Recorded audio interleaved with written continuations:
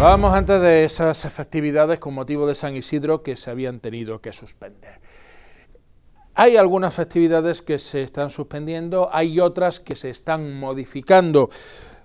Unas de estas festividades que tiene de todo es la de María Auxiliadora. Recordarán ustedes que el pregón de María Auxiliadora eh, se ofreció vía eh, telemática, eh, haciendo eh, un compendio de los cuatro últimos eh, pregones de las fiestas. Obviamente la cabalgata procesión se suspendieron, la novena va a seguir adelante, pero con eh, bastantes, bastantes cambios debidos precisamente a esas medidas de seguridad que hay que tomar.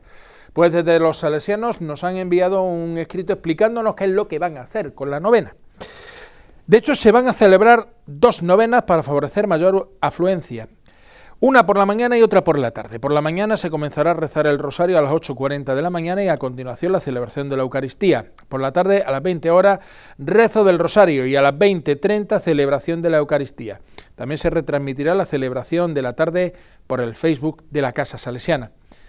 Se diversifica para que puedan repartirse entre la mañana, la tarde y la celebración retransmitida por las redes sociales.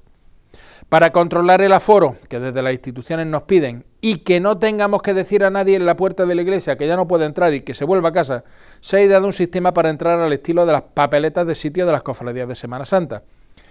El miércoles 13 de mayo, de 9 a 11 en el hall de entrada del Colegio Salesiano, se podrán recoger las entradas para asistir a la novena. Se entregarán unas tarjetas de colores, una por cada triduo de la tarde, y solamente accederán a la celebración de la novena de la tarde las personas que posean dichas tarjetas.